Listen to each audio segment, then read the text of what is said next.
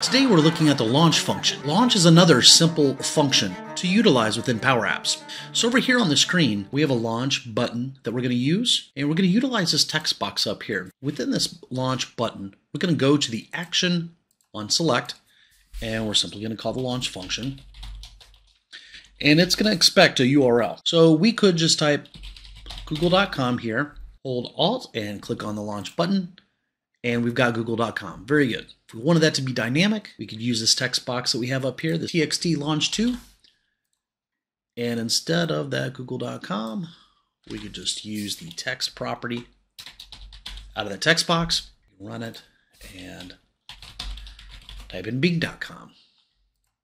Did you know that you can pass parameters to the website that you're launching to? So for example, I could launch to google.com and then I could pass parameters into it of what I want to search for. So let's hit the X and modify the launch.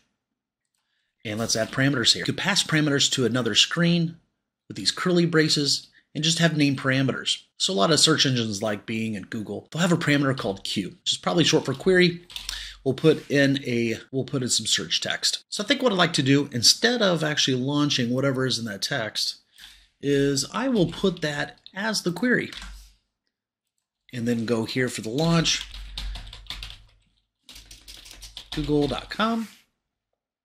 And now I'm going to launch google.com, and whatever we type in this text box is what we're going to search Google for. So I'm going to run it, and here we'll say Power Apps Tutorial, and we'll put my name in there. Darren Neese, we'll hit the launch button, and I'm feeling lucky. it took us to the Twitter. All right. Let's do a regular Google search. And there we go. There is the Power Apps tutorial website, which I'll show you guys. Hey, look at that.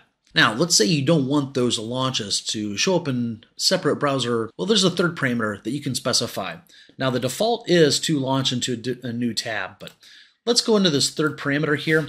There's actually an enumerated value similar to what we have for screen transitions. It's called a launch target. There we go, launch target. And there are two different values, new and replace. So new is the default. So if you just want the new, you could just not include this third optional parameter. Replace would actually launch using the current window, which a lot of times you wouldn't want to do anyway. But So I'll just specify new because I still want the new. I don't want to lose what I have in my project. In fact, what I'll do is I'll control S just to make sure I have a good copy of this. And that shouldn't have any difference on how this works, but I'll just go ahead and do it again here. Very good.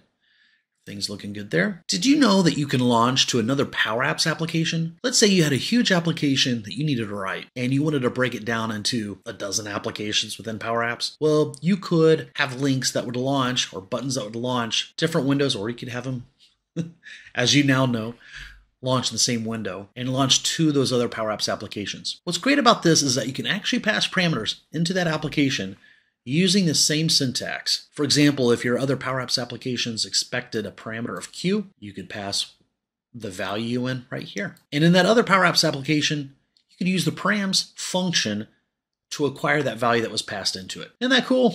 Before you go, would you like a copy of this Power Apps project? I have the MS app file available to you, and I'll link it to you in the video description that you'll find below. Are you feeling overwhelmed with Power Apps? Do you feel there's just so much to learn and you don't know where to start?